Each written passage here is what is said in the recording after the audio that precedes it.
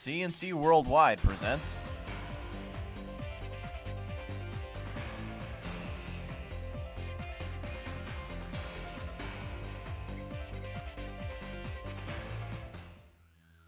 Good morning, Flower City. This is Topher Giancursio with your Wednesday C&C Sports Roc Report. The Rochester Lancers today announced that goalkeeper Joe Kapinos was named to the Major Arena Soccer League's Team of the Week. Kapinos held strong defending the nets in a critical weekend facing the top Eastern Division opponents. He earned a thrilling win on Sunday afternoon against the Syracuse Silver Knights, recording six saves and only four goals to an offense averaging nearly seven goals per game. He also recorded 13 saves in Baltimore on Saturday. Rochester forwards Joey Tavernise and Andrew Hoxie also received honorable mentions. Kapinos and his twin brother Jamie are in their first season with the Lancers.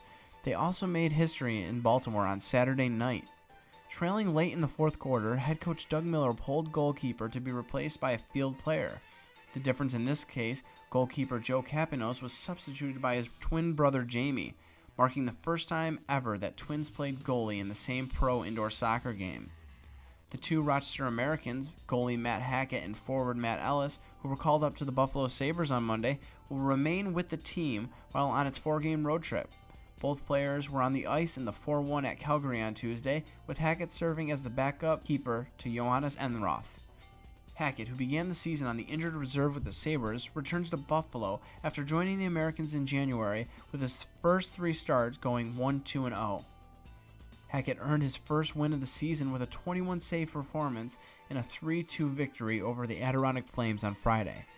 Ellis is on his second recall of the season after appearing in four NHL games prior to the All Star break. The Sabres played in Edmonton on Thursday.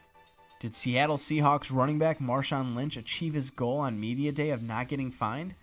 An NFL media insider reported on Wednesday that Lynch could be subject to a fine for wearing a quote beast mode hat during his Media Day appearance. It will be reviewed following the Super Bowl. ESPN first reported that possibility of a fine.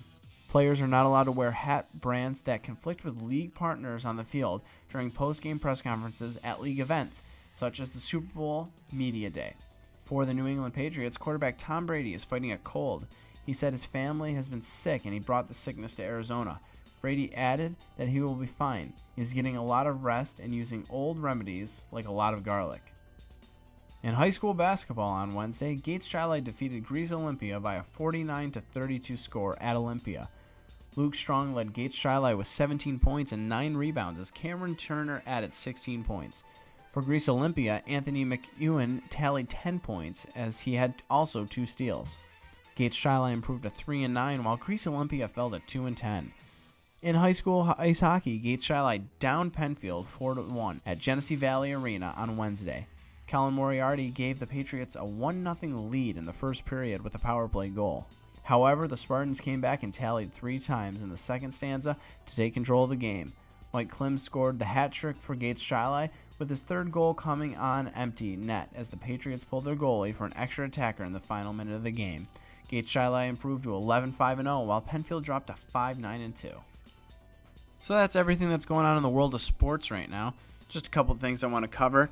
Patriots, okay, should they be worried that Tom Brady has a cold? Probably not. We all have a cold in this time of weather, especially where we live, you know, in Rochester. Cold's not a big deal, so I think he'll be fine. sort of also funny about Marshawn Lynch because he made it such a point that he wasn't going to get fined because he has his own policy where he doesn't talk to the media, which I totally respect. And so, yeah, he was forced to go to media day, and all he said was, I'm just here so I don't get fined. And he said it 29 times.